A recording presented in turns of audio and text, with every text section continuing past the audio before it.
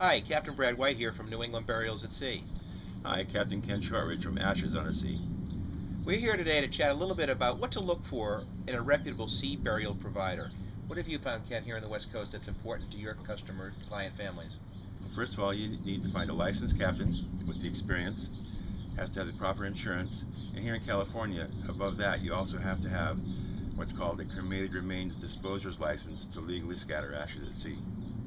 Okay, so you have to have an, an, additional qualification over and above a U.S. Coast Guard license and also the experience. Between uh, Ken and I, we've done over 6,000 burials at sea, and every single one is different. And what's really important, I would think, is people that have experienced boat crew that understand dynamics of family function, dysfunction, weather, tide, currents, all the things that go with it to make it a perfect event. Is that accurate? Yes, it makes a big difference. We don't want to just take uh, a boat out to go scatter ashes. You want to find someone who's able to be empathetic, sympathetic, and be there and help you through this difficult time.